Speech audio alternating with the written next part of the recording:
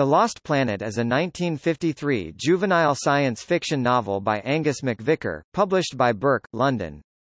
It is the first of the popular novel series The Lost Planet, which was adapted for radio and television. There are six novels in the main series, The Lost Planet 1953, Return to the Lost Planet 1954, Secret of the Lost Planet 1955, Red Fire on the Lost Planet 1959, Peril on the Lost Planet 1960 and Space Agent from the Lost Planet.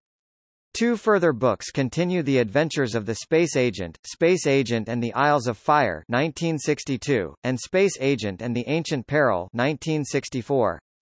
It was the first science fiction series ever translated to Hebrew and had considerable impact on the development of this genre in Israel.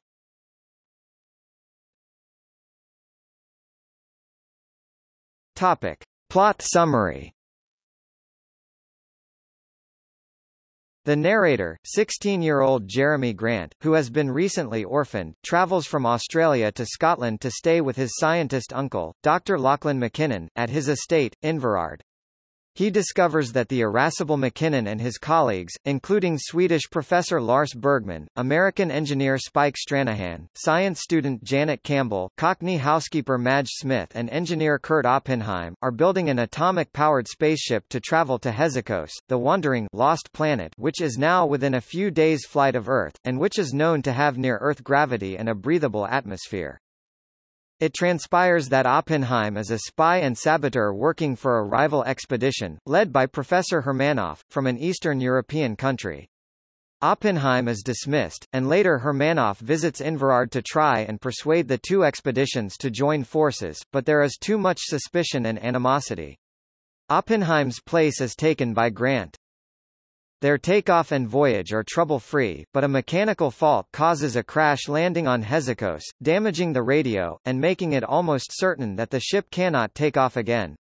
Nevertheless, the crew start to explore the area, finding an atmosphere of peace which calms their anxieties and tempers. They gradually realize that much of the planet is covered by deep snow and ice in the winter, making all but plant life impossible and their own survival unlikely. On one trip they encounter Hermanov and his assistant, Andreev, whose spaceship has landed a few miles away.